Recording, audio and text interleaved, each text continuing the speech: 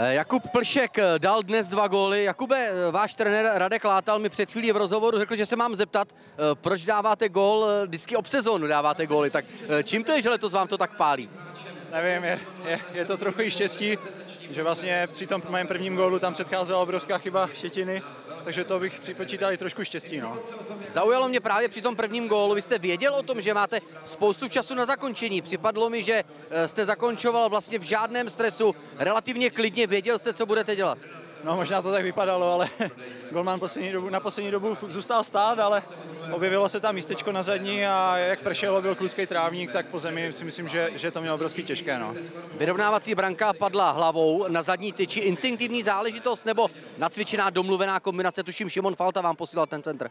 Jo, tak uh, máme to domluvené, že první tyč rozbíhá útočník, já většinou chodím na zadní a Faltič to tam skvěle, skvěle dál a prostě to bylo, já nevím, ze dvou metrů, to prostě chtěl, chtěl trefit bránu a hlavně netrefit golmana. No. Byl to pro vás nejvydařenější zápas na Spartě?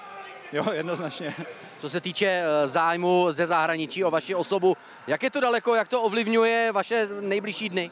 No už to neovlivňuje, tam včerejším dnem skončilo přestupové období, takže já už to, já už to neřeším. Takže dnes jste dal jasný signál na to, že chcete hrát za Sigmu a dobře. Samozřejmě.